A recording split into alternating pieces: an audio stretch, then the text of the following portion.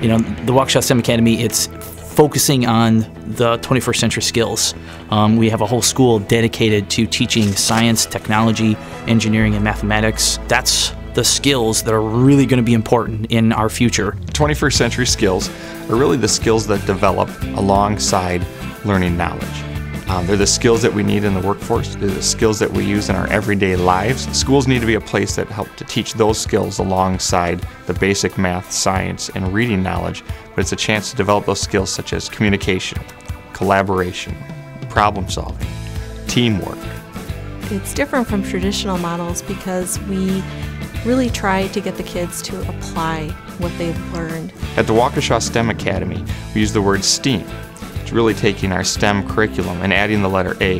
That A creates our STEAM time, and that STEAM time is a reminder that this is a school that's about the application of learning. Lowercase a stands for applying or application. So it's when we're using all these skills we're learning and putting them into projects. The STEM Academy is relevant in today's world because of the variety of things that are brought to the table in the curriculum, and especially the collaborative feel, that STEAM time, when they're working in groups and on projects together.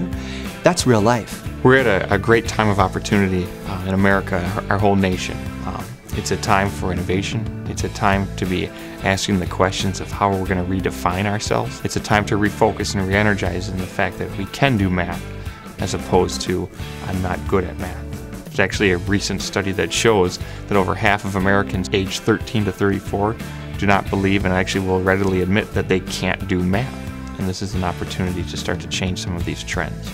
You know, where science may have been their least favorite subject, now it's their favorite subject. And, um, and it really gets at what we're doing with them. I really like science because we every other day it seems like we're doing some lab where we get to create something or test something. One of my friends goes to a different middle school and she was telling me and they don't get to do the kind of stuff we do. I feel like uh, I have more learning opportunities and more experiments that I get to do instead of just seeing it in a book.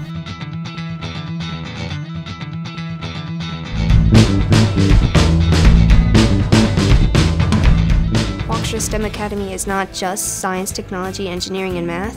We also do incorporate the arts. We believe in a well-rounded education. Students are still exposed to the arts, to the music. They have an opportunity to develop all of those skills.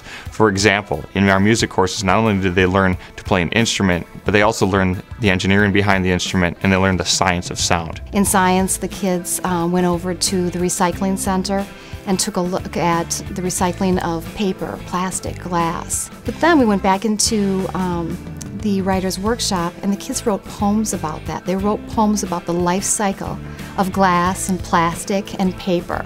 So it was, it was very fun and the kids really enjoyed it. And their final product was if they did um, their poem on glass, they took their poem and they wrapped it around a glass. So it was very concrete and it was very cool and the kids enjoyed it. We just finished this recycled art project, which was really fun. And we did the Future Cities thing where we were in a pretty big team and that had a lot of different aspects to it. The model building. We try to make it a little bit more like a college environment where there's a break built in. There's a little bit more freedom about um, movement between classes and lunches trying to get them prepared for what high school is going to be like and college, that we know how to use our time wisely.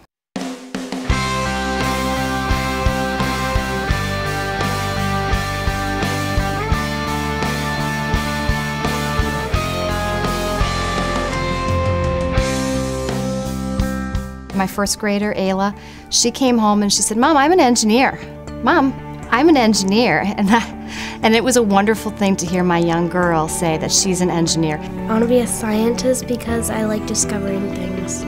I want to be a psychiatrist because I really like working with people. And I think that that's one of my skills is understanding what people mean even if they don't say it. I just, I see so much potential for her. I, I think she could truly be and do. I'm to get a little emotional here. She could truly be and do anything she wants to. And I think the experience that she's getting at STEM is just a springboard for that.